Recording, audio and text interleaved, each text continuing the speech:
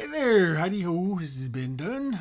Your AP Sensei, founder of Antarctic Press, a comic book publishing company established in 1985. Creator of such comics as uh, Warrior Nun, Ninja High School, Tomorrow Girl, Mighty Tiny, and soon to be newest character, Kendra the Sellsword.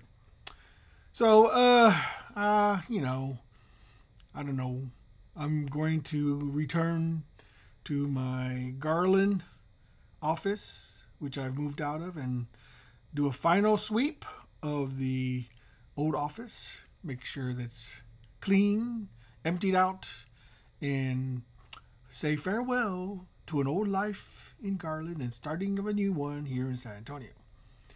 Now, one of the things that I realized when I was moving was just how much garbage I've accumulated over the years. You know, I mean, you see behind me just some of the stuff that I've gotten over the years. You know, but and then I realize, God, what? Do, why do I have so much crap? I mean, don't get me wrong, I enjoy looking at it, but then, uh, and I bought them, you know, without breaking the bank. You know, I basically just I'm a bargain hunter. I always am on the lookout for stuff that seems to interest me, that seems to, to strike my fancy. But you know what? I'm a cheapskate. I'm a starving artist. I do not want to spend a lot of money on stuff that is basically going to end up uh, either in someone else's hands or as landfill. So I got to ask myself this question: What am I spending my money on? You know, there's uh, you know, when I was growing up, you know, I was a avid collector of things. I knew I was young. You want to have stuff. You know, you want to have things that you can own, belong, hold on to, look back, and hopefully appreciate and value. That's really, you know, other than the actual wanting to collect it just because I want it, you know, your hope is that whatever you buy will appreciate value. And eventually, you can resell it for what more than what you pay for it. Sometimes it can take years. Sometimes it can take decades. You know, uh, so you have to be just like anything else. You have to sort of hold on to it so that it'll become, you know, worth more than what you paid for it. And then I thought to myself, what if I had taken all that money I spent on collectibles and comics and toys and stuff like that and actually had bought actual real commodities, you know, stocks, bonds. I mean, not, that's no guarantee, of course, but you know, would I be a wealthy man now? You know, I always always kind of wondered about that.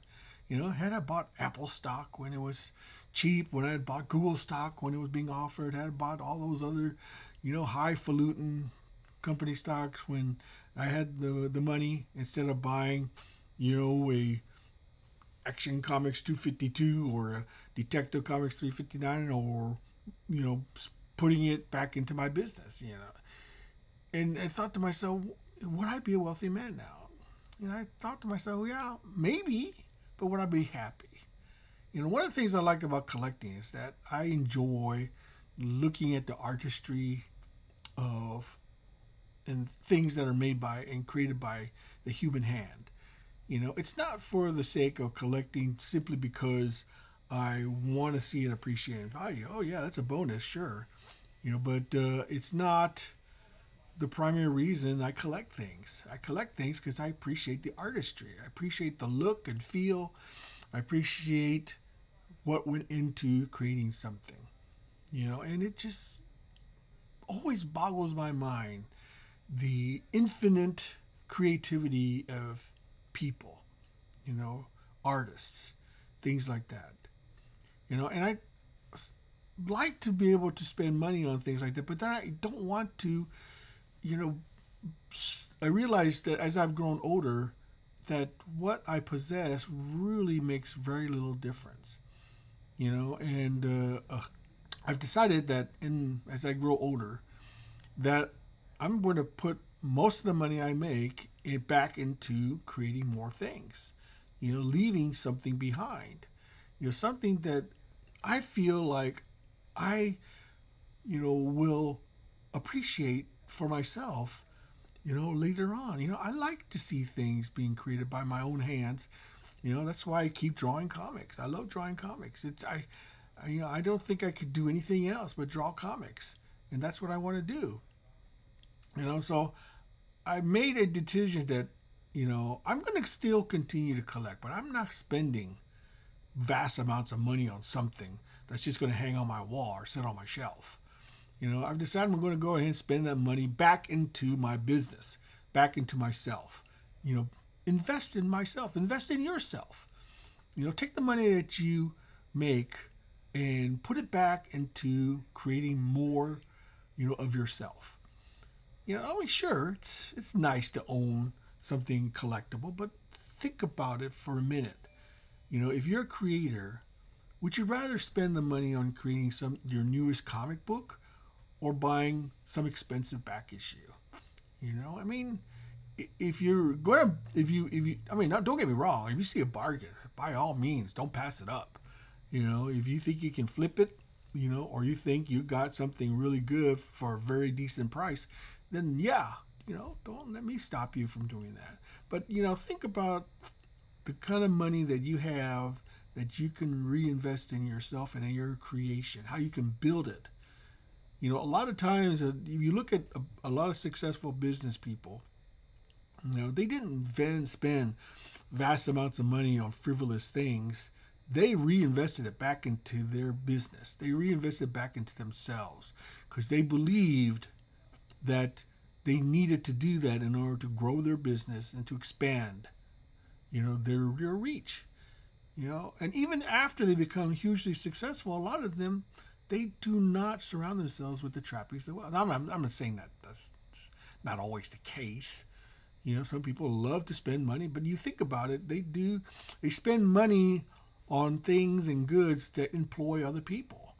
You know, when you buy a item that's long been, you know, created or discarded or you know is a collectible, then though the person has already made that money off that object, and the only person making the money is going to be the person selling it to you. That's it. You know, and uh, and while that is the economy of scale, you know, you want to buy something and employ somebody else, you know, you have to think carefully about where you're putting your money, you know, that you make, because money is not uh, easy to obtain. You know, it's always been difficult to, you know, there's no such thing in my mind as what do you call easy money. You know, money is something that is is desirable because we as a society have placed value on it. You know, if if the collective society decided that money was just paper and not worth very much, they print on, we decided that we were going to exchange goods and services with something like Bitcoin or seashells, you know, or whatever we decide to place value on, then that's going to change. Yeah, but for the time being, you know, we value the money that we get because that is what we have agreed to to have value. And that is the one thing that is uh, keeps us together as a society is that shared understanding that we have placed value on this certain thing and that we will you know exchange that for goods and services. So for me as i as i'm growing older is that i i want to do more and more things that will leave more of a legacy behind and rather just spending it on buying uh, stuff you know oh, you, don't get me wrong, I'm still going to collect. Uh, I love going to the flea markets.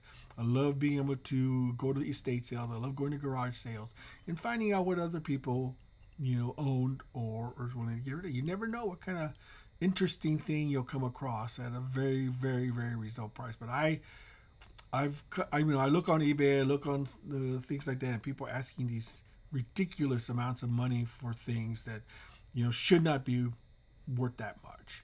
You know, to be honest, I really think that a lot of stuff is overpriced, and I think there's going to be a correction. You know, there's going to be a crash, you know, of prices. Now, I could be wrong. Who knows? But uh, for me, I think right now I'm putting my money into be rebuilding. I mean, not rebuilding, but you know, strengthening the comic industry. You know, it may be a fool's errand. You know, I, you know, I, I, I, that could very well be that comics will go away. Now, personally, I don't think it'll do that in my lifetime. Maybe 50, 20 years, I mean, 50 to 100 years from now, maybe, you know, but uh, uh, by then I'll probably be long gone and it won't matter to me that much. But for the time being, you know, I do want to leave something behind that not only gave me personal pleasure, you know, but will hopefully cement some sort of legacy of creativity that you, you know, as well as myself, can leave behind for future generations. So anyway, you know, this is a rambling as one old man. You know, take it for what you will. But uh, until next time, this has Ben Dunn signing off.